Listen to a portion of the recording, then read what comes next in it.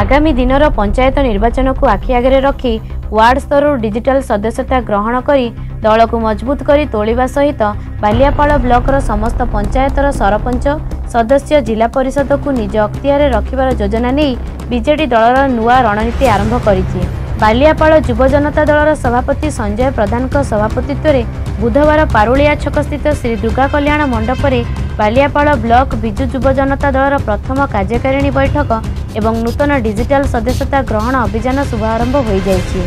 ଉକ୍ତ ବୈଠକର ରାଜ୍ୟ ମହିଳା ଜନତା ଦଳର କାର୍ଯ୍ୟକାରୀ ସଭାନେତ୍ରୀ ସୁଭାସିନୀ ଜେନା ବସ୍ତା ନିର୍ବାଚନ ମଣ୍ଡଳୀର ବିଧାୟକ ନିତ୍ୟାନନ୍ଦ ସାହୁ ବାଲେଶ୍ୱର ଜିଲ୍ଲା ଯୁବ ଜନତା ଦଳର ସଭାପତି ତାପସ ପରିଡ଼ା ବାଲେଶ୍ୱର ଜିଲ୍ଲା digital secretary Abinash Nayak Baliapal block ସଭାପତି Gobinda Prasad Das Baliapal block IT coordinator Chandan Jena Baliapal block କାର୍ଯ୍ୟକାରୀ ସଭାପତି ପ୍ରଦୀପ ଜେନା ଏକୋଇଶ ନମ୍ବର ଜୋନ୍ ଜିଲ୍ଲା ପରିଷଦ ସଦସ୍ୟ ରବୀନ୍ଦ୍ରନାଥ ଆଣ୍ଡିଆ ମଥୁପୁରା ପଞ୍ଚାୟତର ସରପଞ୍ଚ ଦୋଳଗୋବିନ୍ଦ ମୁର୍ମୁ ମଥୁପୁରା ପଞ୍ଚାୟତର ସମିତି ସଦସ୍ୟ ମନ୍ମଥ ବାରିକ ଚବିଶ ନମ୍ବର ଜୋନ୍ର ଜିଲ୍ଲା ପରିଷଦ